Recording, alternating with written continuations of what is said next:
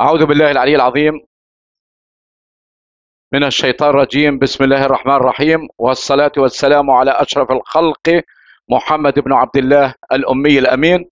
خاتم الرسل والأنبياء أجمعين وعلى هديه نهتدي إلى يوم الدين أما بعد. تحدثنا في التقويم في المرة السابقة أنه التقويم اختلافات كثيرة حول مفهومه. ناس متعلمة مثقفة واعية تفهم أسباب الاختلاف وتحترم الاختلاف. ناس قالوا كم؟ ناس قالوا كيف ناس قالوا تكلموا عن الجودة ناس تحدثوا عنه له علاقة وارتباط بال- بالقياس وقالوا ناس آخرين أنه القياس جزء من التقويم وأنه تحديد جوانب القوة والضعف ووضع العلاج المناسب أه ويعتمد على إصدار أحكام وإلى آخره. إذا ممكن يكون في خطوة علاجية. وإذا ما كانش خطوة علاجية وفي متابعة بتكون عملية التقويم بسيطة أو يعني تنعكس سلبا على المتعلمين. وأنه التقويم مش حاجة جديدة درستوها في طرق التدريس العام وطرق التدريس الخاص في أكثر من مادة تعليمية. وهناك توجهات من خلال كل مادة على حدة فيما يتعام فيما يتعلق بالتقويم. حتى تم استعراض هذا الجانب المهم في الدين. في الدين أبو بكر الصديق وعمر بن الخطاب رضي الله عنهم. لهم مقولة مفادها إني وليت عليكم ولست بخيركم. أطيعوني فيما أطعت الله فيكم وإن رأيتم في اعوجاجا فقوموني ولا بارك الله فيكم إن لم تفعلوا. وهذه عملية التقويم مهمة ومفيدة لتصحيح مسار التعليم لتصحيح المسار لتصحيح الإعوجاج الموجود. لتقييم وضع معين للوصول إلى تحقيق أهدافنا التربوية المنشودة عشان كده بنقول حتى كمان على مستوى التقويم ممكن إحنا نقيم المتعلم بالنسبة للمتعلمين قديش هو مستواه كم هو مستواه بالنسبة لزملائه قديش ممكن يحصل في المادة التعليمية بالنسبة لزملائه وممكن إحنا نحط محك له لوين هو بيصل في إنجاز بيحققه من ذاته حتى نقيمه. لنفسه. وهذا. هذه الأشياء مهمة جدا. يعني ممكن إحنا نشعر إنه إحنا ممتازين بالنسبة لزملائنا. وممكن إحنا نشعر إنه إحنا ممتازين أيضا لأنه إحنا بنتفوق. وين ما نروح على أي مكان ايا كان بنحقق التفوق. شوف كيف؟ هذا بسميه هذا حاجة ذاتية. لكن لما أنا بقول والله أنا الطلبة اللي عندي على سبيل المثال مستوياتهم مش نافعة. مثلا طيب وإذا قلت أنا كويسة جيدة ممتازة. طيب الطالب اللي حصل درجات اللي حصل درجات وكان عنده آه، مستوى متدني. وهو أخذ الأول. هو بالفعل هي الدرجة تبعته درجة حقيقية 100% إنه هو طالب مميز. لا أكيد لا. لكن هي بالنسبة للناس الآخرين. درجته بالنسبة للناس الآخرين. اذا هذه الأشياء مهمة جدا. إنه نفهم إنه في لها شمولية وإلها تخطيط جيد وإلها آه، علاقة وارتباط بأهدافنا ولازم تكون مر- مرونة فيها ولازم تكون عملية التقويم فيها إنسانية ولازم تكون فيها اقتصادية وفيها جوانب كثيره حتى تتحقق الشروط الجيدة فيما يتعلق بعملية التقويم. اذا عملية التقويم تشخيص وعلاج تحديد جوانب قوة تحديد جوانب ضعف وضع علاج آه وإصدار أحكام بخصوص أي موقف تعليمي وإذا طورنا هذا الجانب لابد من المتابعة. إذا في عندي خطوات لعملية التقويم. في عندي خطوات لعملية التقويم وهي تعتبر آه بالنسبة لنا مهمة جدا. لابد من التركيز على لابد من التركيز على بعض الجوانب المهمة جدا. فيما يتعلق بالأهداف. اذا الأهداف وتحديد الهدف من عملية التقويم. آه، الحكم على بقية الأهداف توضيح الأهداف اكتشاف نواحي القوة والضعف حتى في عملية التنفيذ تصحيح المسار التحقق من سلامة الفروض. الفروض شو هي فرضيات مثلا هي إجابات ذكية محتملة. لو أنا وضعت شغلات معينة وحطيتها ضمن مخططي هل هي ممكن تكون صحيحة أو ممكن تكون خاطئة أو في بعض المسلمات؟ أنا بضعها في العملية التعليمية. هدفها هي هي إيه؟ مساعدة المتعلم. المهم إعطاء المتعلم أيضا قدرا من التعزيز وتقديم معلومات أساسية عن الظروف المحيطة بالعملية التعليمية. إذا الحكم على المتعلمين من مدى فاعلية اللي هو المعلمين. عشان كده بنقول يا شطرات إحنا وإحنا بنحط أهدافنا من السهل إنه المتعلمة تقيم أستاذها. من السهل إنها تقيم أستاذها. الأستاذ اللي بيتكلم قدام الطلبة وبقول مش من حق الطالب إنه يقيمني هو مخطئ. هو مخطئ. أنتم بتعرفوا الرسالة اللي إحنا بنأديها. إذا ما اتاثر المتعلم من خلال المعلم معنى ذلك إنه التعليم ما بيأثر معناها إنه في خلل في عملية أو في الأسلوب أو في الطريقة المتبعة بالنسبة للمعلم. ممكن هو مثلا على سبيل المثال أحيانا بيسرع في بعض الشغلات وممكن يبطئ في بعض الشغلات. التسريع زي ما قلنا لكم من من قبل إنه هذه معلومات مرت عليكم وهذه المعلومات التحقق من صحتها أكثر من مرة آه تم بيتم تسريع في هذا في هذا الجانب. لكن بعض الجوانب الأخرى اللي هي معلومات حديثة أو جديدة بكون فيها تباطؤ لأنه المعلم يعتمد على الشرح وعلى التوضيح وعلى التحليل وعلى التفسير وعلى الاستنباط وعلى الاستقصاء وعلى التأمل وعلى كل كل ما له علاقة بمهارات التفكير العليا. اذا هذه الشغلة مهمة جدا انه نفهم إيش الظروف إيش مدى الفاعليه آه الحكم على مدى الفاعليه من خلال التجارب وغيرها. أيضا اختيار اللي هي المواقف والظروف. الجوانب هذه كلها بتمكنني إني أنا أحدد الهدف أو في ضوء الهدف أنا أتحقق من جوانب كثيرة لها علاقة وارتباط بالمواقف والظروف. وإحنا حدثوا ولا حرج إحنا بنعاني من ظروف قاهرة. حتى كمان الكتب اللي بتتكلم في مناهجنا التعليمية يعني أغلبها غير مناسبة لأنه إحنا ناس بنعاني من ظروف اجتماعية من ظروف اقتصادية من ظروف سياسية وظروف حتى إنسانية. كل هذه الجوانب مجتمعة بتحسسني إني أنا هذه المناهج التعليمية اللي أنا بتعامل معها هي غير مناسبة لأبنائنا لأنه إحنا بتجوز علينا مناهج المقهورين. هذه لو أنتم بحثتوا عنها مناهج المقهورين ممكن تلاقوها وتشوفوا إيش على إيش بتركز. لكن هذه المناهج نتطلع إلى الواقع والمأمول. دائما الواقع شيء وطموحاتنا وأملنا في الله آه وتوقعاتنا هي اللي إحنا وأمنياتنا هي اللي بدنا إياها تتحقق في منهجنا التعليمية. تحديد كم ونوع المعلومات اللي بنعطيها للمتعلمين إيش طبيعتها؟ والله هي مستحدثة ولا هي قديمة ولا هي مناسبة أو مش مناسبة. آه طب أدوات أدوات اللي هي اللي بتعامل معها والأساليب اللي لها علاقة وارتباط بالتقويم. هل هي شاملة؟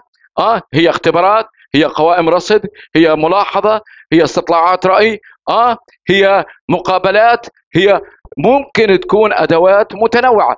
أغلب الأحوال بتتم اختبارات بتقيس مستوى التحصيل المتعلمين عندنا فقط في الجوانب المعرفية. أدنى مستويات المعرفة عند بنيامين بلوم قدرة المتعلم على استرجاع المعلومة. وطبعا لما أنا بعتمد فقط على قدرته على استرجاع المعلومة فبتكون المسألة ضعيفة، اذا أين مهارات التفكير العليا من تدريس أبنائنا وخصوصا اعتمادها وتقييمها في مناهجنا التعليمية، إذا كانت الأدوات بسيطة معنى ذلك أنه عملية التقويم تقتصر على قياس الجوانب البسيطة، لكن إذا كانت متطورة متطورة معناها تنعكس على أكثر من جانب وممكن نتعرف على الذكوات المتعددة الموجودة عند المتعلمين. يعني بتقيس أكثر من مهارة وأكثر من اتجاه وأكثر من أي شغلة ايا كانت فبتكون عملية التقويم بهذه الحالة شاملة.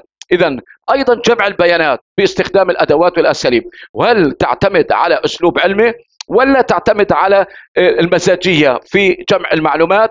آه لأنها بتعتمد جمع المعلومات ممكن يتم من خلالها إصدار أحكام وقرارات معينة قد تكون أحيانا صائبة وقد تكون خائبه لأنه طبيعة المعلومات والكذا اللي بنحصل عليها إما تكون جيدة أو لا تكون جيدة. فالاعتماد عليها يترتب عليه أيضا نتائج أخرى. اذا تحليل البيانات أنا جمعت بيانات. والله أنا حصلت على مشكلة معينة ولميت بيانات وهذه البيانات أغلبها كلها خاطئة وأنا قعدت أنا أسجلها وأنا أستدل واستقرئ من خلالها. وإذا كانت هي خاطئة اذا استدلالاتي واستنتاجاتي استنتاجاتي وتفسيري وكل الأشياء اللي بيتكلموا فيها هي غير مناسبة لأني أنا ما بنيت عليه هو باطل ما بني على باطل فهو باطل. اذا أنا أخذت أشياء وبديت أبني عليها. يعني هذه الأشياء هي أساسا خاطئة. وبديت أنا أستنتج زي ما بقول والله إن بعض الظن شكيت في شغلة معينة وأنا صرت أصدر أحكام. وأنا ممنوع أنا أصدر أحكام في هذا الجانب. لازم أنا أتحقق من هذا الجانب وأجمع المعلومات الجيدة. وبناء على هذه المعلومات ببدأ تفسيرها وربطها وتحليلها واستنتاج وإلى آخره. كل هذه الشغلات مهمة جدا أن نفهم. أيضا تفسير البيانات. تفسيرها برضه كمان في ضوء المشكلات الجديدة. أي إصدار أحكام وقرارات اتخاذ قرارات متابعة تنفيذ هذه القرارات. كثير إحنا من الدراسات العليا طلباتنا اجروا تجارب ولها علاقة وارتباط بالتربية وبالتعليم لها علاقة وارتباط بطرق التدريس لها علاقة وارتباط بالجوانب السيكولوجية لها علاقة وارتباط بالظروف لها علاقة وارتباط بشغلات كثيرة كتجارب بنظريات علم النفس آه ولم يؤخذ بها على الإطلاق. طيب هذا الكلام معنى ذلك إنه إحنا لما بنتابع شغلات معينة إحنا بس فقط للمتابعه لكن هل توظف؟ آه وهل تؤخذ من خلال أصحاب القرارات؟ والله نقول والله إنه لو استخدمنا طرق مماثلة لها علاقة وارتباط بأنشطة تعليمية معينة وغيرنا النمط التقليدي واتبعنا أساليب حديثة في عملية التدريس مثل رسالة فلان وفلان اللي بتتحدث عن مثلا حل المشكلات أو استخدام الألعاب التعليمية أو الدراما أو متخذ استراتيجيات معينة في التدريس أو نموذج لنظرية معينة حتى نستفيد منها. ما هذا الكلام ما بصير اذا هذه الشغلات مهمة جدا إنه نفهم إنه في متابعة لتنفيذ القرارات أو تنفيذ النتائج اللي تم الوصول إليها من خلال المعلمين وأصحاب القرارات. مناقشة النتائج من له علاقة بهذه الجوانب هو اللي بناقش. اذا كل هذه الشغلات سمعنا عنها وقلنا إنه هذه الأمور متعلقة بالتقويم وكيفية وآلية التعامل مع هذا التقويم وكل المتعلمين وكل التربويين والتوجهات التربوية كلها في نهاية المطاف تعطي قيمة تعطي قيمة للمنهاج. والله هذا المنهاج متقدم ومتطور بيساعد على تطوير قدرات إبداعات المتعلمين معنى ذلك إنه له قيمة.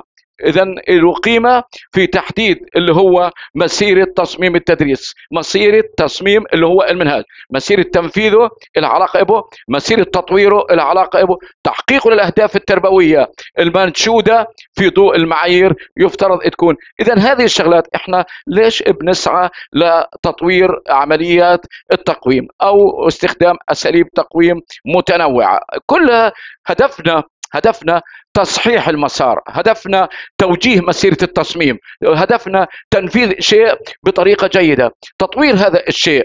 وفي نهاية المطاف أنا لو كنت أنا ماشي بخطوات جيدة معنى ذلك أنه اتحقق لي النجاح. بالإضافة أني أنا وفرت على نفسي وقت ووفرت على نفسي جهد وأعطيت انطباع للناس الآخرين أنه إحنا مناهجنا ما إجت من جانب عبثي.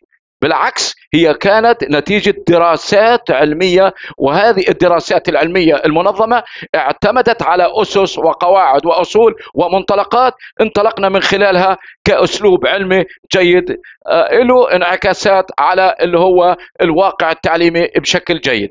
أصبح يعني انعكاس يعني لما تكون عندنا مناهج تعليمية متضمنة كل الأشياء اللي إحنا بنسعى لتحقيقها معنى ذلك نج نجحين إحنا.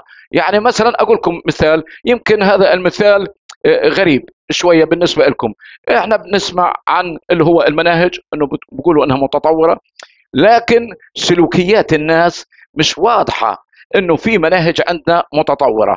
مع احترامي للجميع. لأنه الكلام جانب آه، مهم ولكن الجانب التطبيقي في المناهج التعليمية اللي هو يفترض يكون أهم.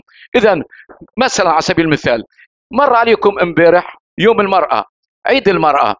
هل المناهج التعليمية بتعطي قيمة للمرأة الفلسطينية؟ سؤال هل حقوق المرأة الفلسطينية المناهج التعليمية بتركز عليها؟ هل المضامين الأخلاقية والقيم الاجتماعية والقيم السياسية والقيم العقائدية كلها متضمنة في أغلب الأحوال في مناهجنا الدراسية كممارسات سلوكية؟ كممارسات. أنا بديش كلام. الكلام كتير. أنا عندي استعداد أحرر فلسطين بالكلام وعندي الفعل ما صلش لبيتي. آه. شوفوا كيف. هذه الشغلات مهمة جدا. إذا أنا بدي إياها تتحول لسلوكيات وهذه السلوكيات لم ولن تتحول إلا من خلال الأنشطة التعليمية. إذا هذه الأشياء يفترض أن تؤخذ بعين الاعتبار. أيضا من خلال تصميم المنهاج بعناصره الأربعة. يعني مش أنا أركز على جانب وأنسى جوانب لأنه التنفيذ والتطوير آه عمليتان عمليتان والتنفيذ والتطوير معا. ممكن نبدأ بشغلة وممكن شغلة ثانية آه يكون فيها خلل.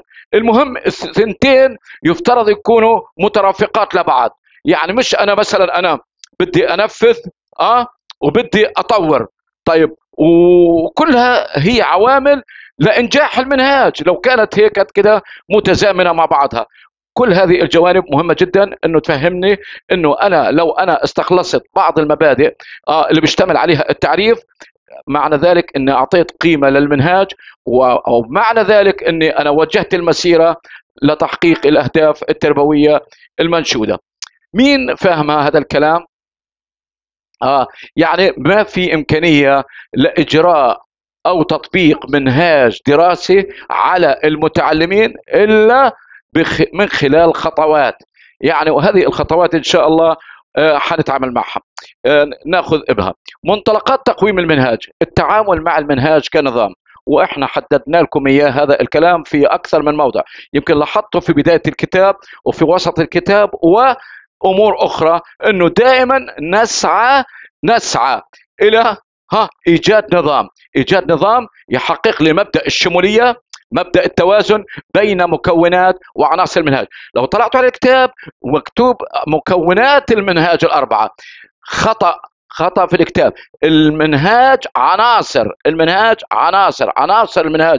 مكونات المنهاج زي المقصف زي ساحة المدرسة آه زي نظام الامتحانات زي المكتبة آه طلعوا كيف؟ زي نوعية اللي هو المكان اللي إحنا بنت... هذه كلها عوامل مساعدة مكونات مساعدة للمنهاج. لأنه ممكن أنا أعمل منهاج أصمم منهاج. وهذا المنهاج. أراعي فيه الأسس الجيدة ولكن أنا أصطدم بالواقع. ما ألاقي عندي مقاعد ما ألاقي عندي كراسي آه، ما ألاقي عندي اللي هو المكان المناسب.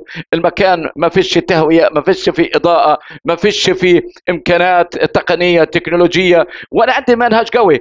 أيضا ما فيش ساحة للمدرسه ما فيش نشاطات معينة ما فيش نظام الامتحان حتى كمان تقليدي تقليدي بيعتمد فقط على اختبار بسيط للغاية لا يحقق الأهداف التربوية. وبالتالي كلها على بعضها هذه عوامل مساعدة بتساعد المعلم على توصيل المعلومة بطريقة جيدة. وإحنا سبق وتكلمنا إذا أنا أعطيت مدرس منهاج قوي إذا أعطيته منهاج قوي وهو مستواه متدني. يعمل على إماتة المنهاج.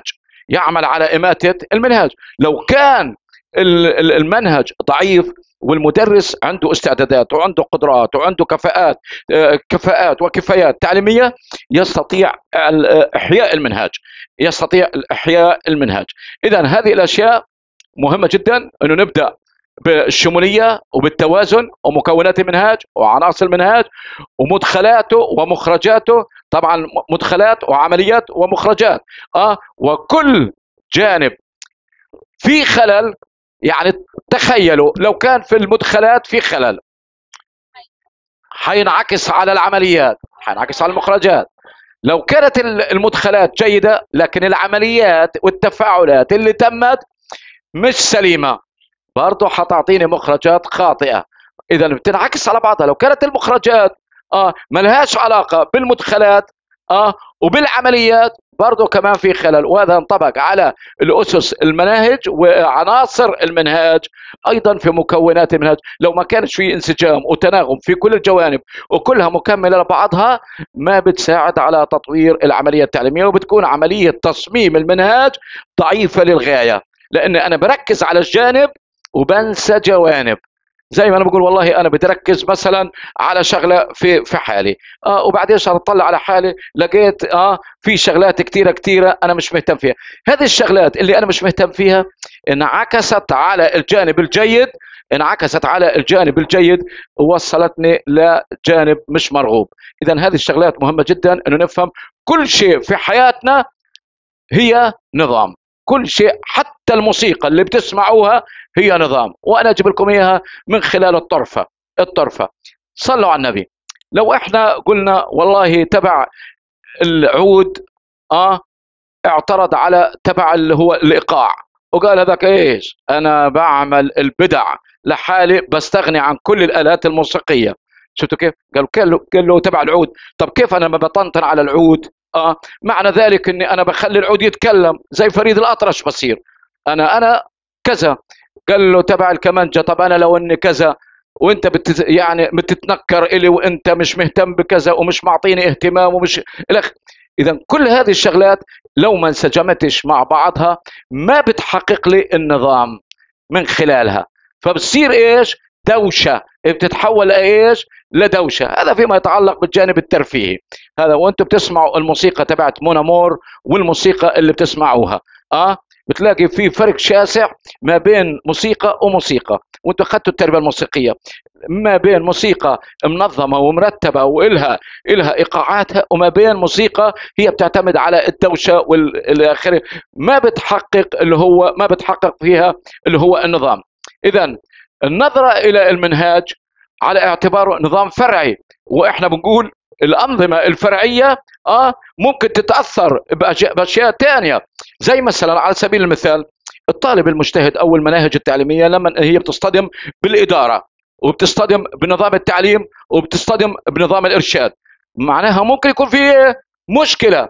يعني أنا مثلا الطالب اللي عندي الطالب اللي عندي يروح على القبول والتسجيل القبول يبعته على كذا وذاك يبعته على كذا وذا يبعته على كذا كل واحد يب... ما. كل واحد مش عارف إيش طبيعة مهامه. هذا معنى ذلك إنه ما فيش نظام.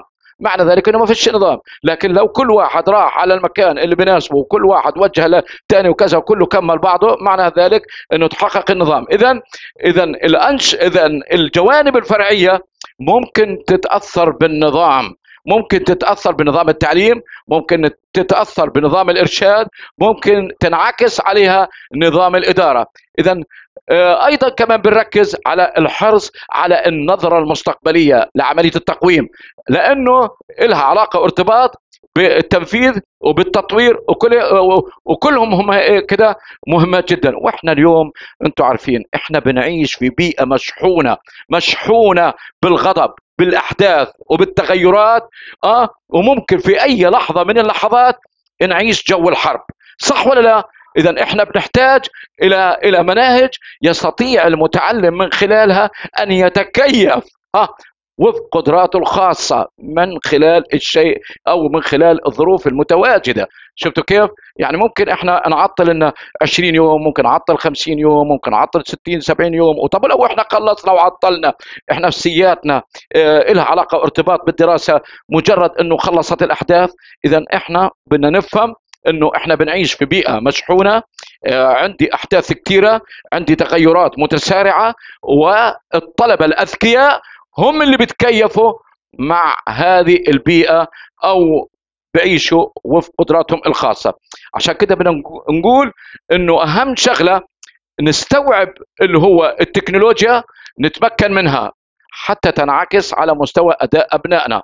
وهذه تعتمد في مناهجنا التعليمية وتعتبر مقدسة.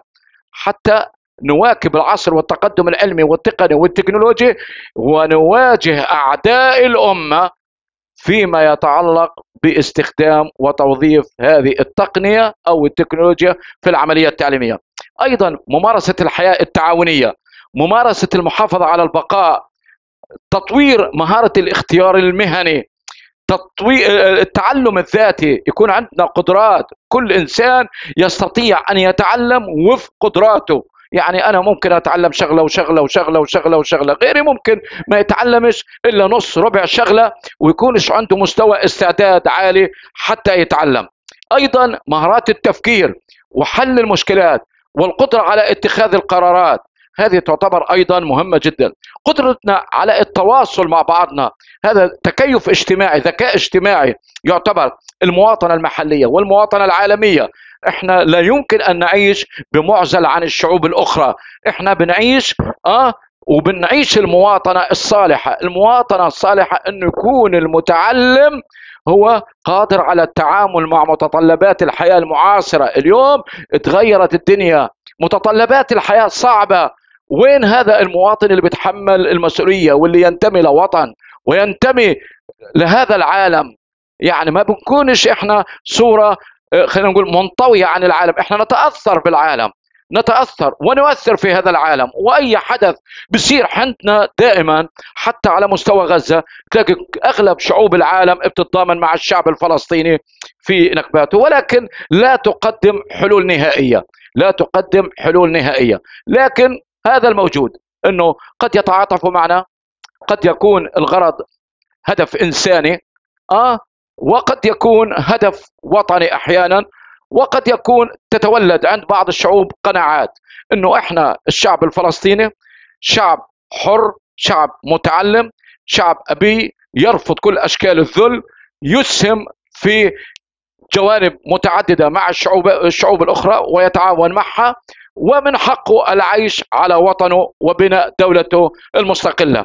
اذا أيضا كمان التربية الأخلاقية لازم تكون مهمة جدا في مناهجنا التعليمية عند التصميم لأنها تقيم هذه الجوانب بتنعكس على سلوكيات المتعلمين إذا ما كانش تضمين لهذه القيم بطريقة مناسبة إذا ما كانش لها تقييم بطريقة مناسبة. حتلاحظوا مناهجنا التعليمية بعد ثلاث أربع سنين لو ما كانش لها دور هذه الجوانب المهمة تلاقي أولادنا ما عندهمش أخلاق باظت أخلاقهم وعاداتنا وتقاليدنا بدأت تتفكك وديننا آه يعني تلاقي كل التعاملات مع الدين معاملات سطحية شكلية. وهذه الجوانب تنعكس سلبا في أغلب الأحوال على سلوكيات أبنائنا. الاهتمام بالإنسان وطبيعة الإنسان ومستقبله والأنظمة الفرعية كلها هذه يعني مع احترامي لكم ننظر إلها اللي تم ذكرها نظرة متكاملة متكاملة شاملة لأنه أي خلل في جانب منها أي خلل. انتبهوا معي. أي خلل في جانب معين ممكن ينعكس على باقي الجوانب الأخرى. يعني لو ما كانش عندنا تكنولوجيا مشكلة. لو ما كان عندنا أخلاق في المعاملات مشكلة. لو ما كانش اعتماد على قدراتنا الخاصة مشكلة. لو إحنا ما راعينا الظروف وحطيناها بعين الاعتبار مشكلة. لو إحنا ما اهتمينا بالمواطنة الصالحة مشكلة. لو إحنا إحنا ما اهتمينا بالتربية الأخلاقية مشكلة. لو إحنا ما أعطينا للدين قيمة مشكلة. لو إحنا ما تعاوننا مع بعض مشكلة. لو إحنا ما حافظنا على بقاء وجودنا هنا تعتبر مشكلة. يعني مع احترامي لكم مع احترامي لكم إنه إحنا بالنسبة للشعب الفلسطيني قديش مجازر ارتكبها الكيان الصهيوني بحق الشعب الفلسطيني. قديش حروب قديش حروب خاضتها إسرائيل مع العرب. قديش إحنا ظروف كانت سيئة بالنسبة لنا سيئة لنا للغاية وهذه الظروف السيئة هذه الظروف السيئة هل أنهت الشعب الفلسطيني؟ بالعكس كل الحروب وكل المجازر ما زادتنا إلا قوة وتصميم وإرادة وعزيمة وسيطرد المحتل من هذه البلد وهذه الشغلات مهمة جدا لازم تكون مناهجنا جيدة. إذا في عندي معايير لتقويم هذه المناهج وهذه تعتبر معايير من وجهة نظر المقومين مهمة جدا لأنها بتركز على الملائمة وبتركز على المناسبة تبعته أيضا الفاعلية يعني الكفاءة الكفاية والفعالية في المناهج التعليمية. لو اجينا لمعيار الملائمة أو المناسبة يعني هل العناصر اللي أنا بستخدمها مناسب العنصر لبقية العناصر؟ مثلا هو له علاقة ارتباط إبو مناسب؟ ملائم له آه آه. مناسبة للحاجات والإمكانات؟ آه. مناسبة لأسس المنهاج؟ طيب بلاش. العلاقه وارتباط بالمدخلات والعمليات والمخرجات؟ هل تحقق معيار الملائمة؟ أيضا ترتبط بالمكان وترتبط بمفهوم الزمان. هل هي ملائمة؟ يعني مع احترامي لكم لو اطلعتوا على الآيات القرآنية في القرآن الكريم آه كان لاحظتوا إنه الآية لها سبب نزولها. مكانها مكانها وزمانها. سبحان الله ما نخلط الورق وما نخلط ما نخلط القضايا. لما نقول ربنا قال كذا كذا كذا كذا كذا آه طب شوف المناسبة شوف المكان شوف الحدث اللي س... بناء عليه المناسبة. فهذه شغلات مهمة جدا إنه نأخذها بعين الاعتبار كمعيار.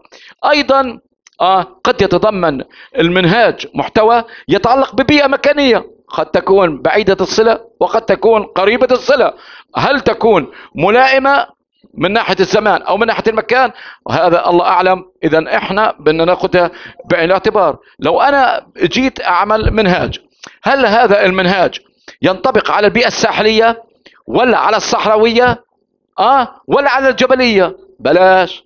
على منطقة قطبية ولا منطقة معتدلة. آه كل هذه أو إقليم مناخي معين دون إقليم مناخي كذا. إذا المكان مهم جدا. والزمان برضو كمان مهم جدا ولا بد أن يراعى هذا الجانب. أيضا الطلبة قد نؤثر فيهم أحيانا وقد لا نؤثر فيهم حسب الظروف الموجودة والإمكانات أو الحقبة الزمنية. مع احترامي لكم يا بنات هل أخلاقيات المجتمع اليوم بناء على التقدم والتطور العلمي والتقني والتكنولوجي هي أخلاقيات المجتمع اللي كان قبل؟ آه تسعة وتسعين في المية لا. لا. زمنهم مش زمننا اليوم العلم انعكس على الجانب الأخلاقي سلبا في أغلب الأحوال. شفتوا كيف؟ اليوم معكن كلكن جوالات آه وتكنولوجيا واتصالات اللي لازم اللي مش لازم بنتصل عليه. لا ليش؟ كانت المجموعة القيم والضوابط الأخلاقية اللي بتضبط مجتمع معين آه بس يعني قوية وأدواتها بسيطة. أدواتها بسيطة كمان. اليوم اتغيرت الأمور. إذا نفهم أنه كل حقبة زمنية بعيدة الصلة بالطلبة قد لا تؤثر فيهم. آه وأنه يفترض أنه إحنا نفهم أمثلة كثيرة على هذا الكلام. آه وخصوصا فيما يتعلق بالمستعمرين اللي فرضوا علينا مناهج لا تسمن ولا تغني من جوع. يعني زمان كانوا يا بنات آه شطرات أنه يقولوا لنا هذا المنهج مرفوض وهذا المنهج بتعرض لاسم فلسطين أو بتعرض لألوان العلم الفلسطيني وكانوا يفرضوا علينا مناهج معينة وهذه المناهج لا تطور من قدرات ولا إبداعات المتعلمين بالعكس هي خلينا نقول آثارها سلبية أكثر من الإيجابية. طبعا ما فيش هويه ولا كذا. في عندي معيار الكفاية أو الفاعليه لما بقول أنا المنهج أثر استخدام منهج تعليمي مقترح على كذا معناها أنا بدي أشوف مدى الفاعلية. بدي أشوف مدى الفاعلية. اذا أنا بقى اهتم بتنفيذ المنهاج من قبل المعلم. قد أستخدم وسائل تعليمية أو مصادر تعلم بطريقة متطورة. قد تكون الكفاية خارجية بمعنى إذا توافرت الوسائل التعليمية والإمكانات اللازمة لتحقيق هذه النتائج أو المخرجات. وفي ضوء هذه الأهداف في ضوء الأهداف. أيضا ممكن تكون داخلية بتتعلق بتصميم العناصر نفسها آه بشكل محدد بحيث إنها توفر لي آه أو تساعد على توفير آه الشروط الخارجية لتحقيق الكفاية التعليمية. اذا هنا عندي أنا معايير أنا عندي معايير وعندي من المعيارين السابقين أربع احتمالات. أربع احتمالات قد تتعلق بتفاعلات الم... التفاعلات الملائمة آه والفاعلية للمنهاج الدراسي. يعني ممكن يكون منهاج غير ملائم بدون فاعلية. يعني ما بيأثر. يعني أنا عملنا مناهج تعليمية بدون دراسة ومتخبطة وبدون تخطيط وكانت تراعي الفروق الفردية ولا القدرات العقلية ولا الظروف ولا الإمكانات ولا متضمنة قيم ولا متضمنة اتجاهات ولا م... بس عبارة عن كم معرفي والكم المعرفي هذا سيء. يعني لا يطور من قدرات وابداعات المتعلمين ومش منظم ومش مخطط ولا يراعي أسس المنهاج ال- ال- ال- الأربعة ولا بيأخذ بعين الاعتبار التصور الإسلامي. طبعا لو أنا جيت أنا أطبق هذه المناهج التعليمية حتلاقي ملهاش علاقة كتير بحاجات المتعلمين ولا تحقق الفاعلية. يعني ما بكونش لها أثر. يعني بطلع على أولادنا تعلموا ولا ما تعلموا كل واحد. خلاص لأنه في خلل قاتل وين؟ في المناهج التعليمية. وهذا حق طبيعي وجانب طبيعي إنه أنا أحس إنه الخلل موجود وأنا ما عالجتش الخلل وجيت أدرس الأولاد اللي درس واللي ما درس هو نفس السلوك. نفس السلوك. كيف تتخيلوا لو بنتكلم ليلة ليلة أو يوم يوم أو آه، في كل محاضرة عن الأخلاق الأخلاق الأخلاق الأخلاق الأخلاق الأخلاق ونلاقي بعض الناس ما عندهاش أخلاق في التعاملات. هذا بيكون في خلل. لازم نحط إيدينا على الخلل. اذا ممكن يكون منهاج غير ملائم وبدون فعالية ما براعي أي جانب من جوانب التربية بطريقة جيدة. منهاج غير ملائم وبفعالية. يعني أقول لكم والله زي الطالب اللي ما درس. وجاب علامات عالية. جاب علامات عالية. طب كيف جاب علامات عالية؟ آه آه. هذا يعتبر من أسوأ حالات المنهاج. مع احترامي لكم يعني أنا لما أنا بعطيش منهج مش ملائم للطلاب مش ملائم للطلاب وفي نفس الوقت الطلبة بيحصلوا على أعلى درجات. هذه لا تقيم الطلبة بطريقة جيدة. مع احترامي لكم يعني ليش؟ لأنه المنهج مضروب مش ملائم. لا لطموحاتكم ولا لعاداتكم ولا تقاليدكم أهداف مستوردة وكلها على بعضها ما بتراعي أي جانب من الأشياء اللي تم ذكرها في المنهاج ولا في عناصره ولا في أسسه ولا في تصوراتنا الإسلامية. وفي نفس الوقت الطالب بحصل درجات عالية معنى ذلك أنه في خلل.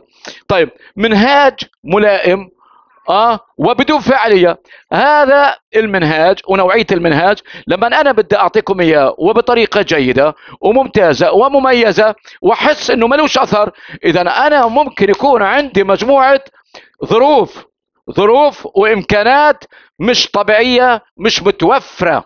مش متوفرة. عشان هيك كده ما أثر في المتعلمين. فبحتاج مني إعادة نظر لأنه المناهج الملائمة هذه آه ما راعت بعض الجوانب الأخرى. أيضا منهاج ملائم وبفعالية وهذا يعتبر أحسن الحالات. يعني لما أنا بعمل منهاج متطور آه وبحاول أنا أجري تجارب على المتعلمين وأقيم هذه التجارب. معنى ذلك أنا وصلت لمنهاج ملائم لو كانت النتائج إيجابية. هذه الأشياء تعتبر بالنسبة لنا مهمة جدا كمعايير لقياس فاعلية أي منهاج تعليمي. أشكركم لحسن استماعكم.